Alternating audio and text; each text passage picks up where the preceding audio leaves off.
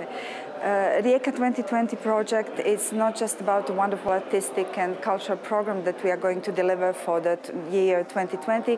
It's also about a number of events uh, like today's conference that are positioning Rijeka as a relevant cultural center, center for culture, arts, uh, creative industries on a European map. Therefore, activities like uh, conference uh, on artificial intelligence and the role of culture are very important for us. Uh, today's conference not not only brought uh, most relevant experts in that area to Rijeka, enabled networking, enabled discussing uh, about this topic, but enabled us also to share values that we believe are the values of our project, the values that will help us uh, uh create uh, free uh, democratic societies. These are the values of the Council of Europe also, and we are therefore very happy to have had this conference in Rijeka.